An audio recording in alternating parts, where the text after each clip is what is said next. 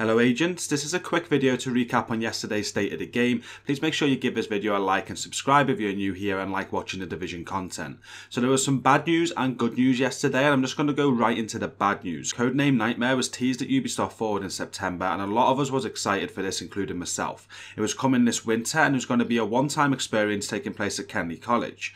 Codename Nightmare is no longer taking place in this form. Yannick was on the show and you could see his disappointment as he had to tell everyone that this was no more and instead Codename Nightmare would just be an extra apparel event coming in February.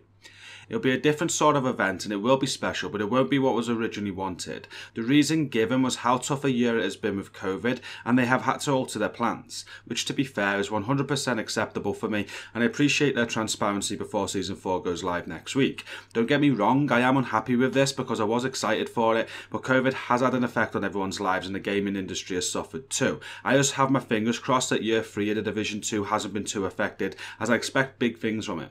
So moving on, there was good news News 2. As we already know, next week on Tuesday, the 8th of December, Season 4 will be going live.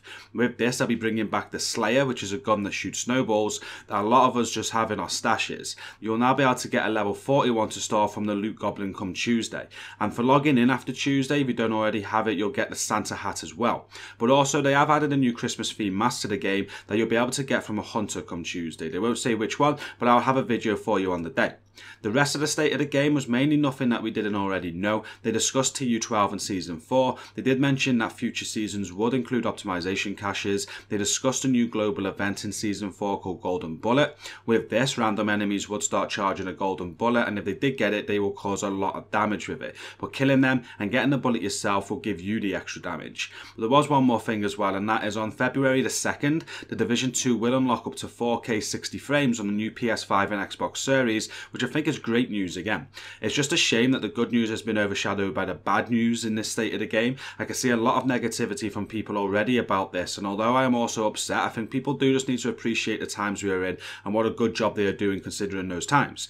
Thank you for the transparency, massive, and as I said earlier, I just hope year 3 has not been too affected. This is the end of the video now, though it was a very quick recap video for you. Thank you all for watching. I'm going to leave you with a sick new outfits coming in a new Outguard event in Season 4. Let me know your thoughts in the comments. I'll be back with more Division content from Tuesday. Have a good weekend, everyone, and peace out.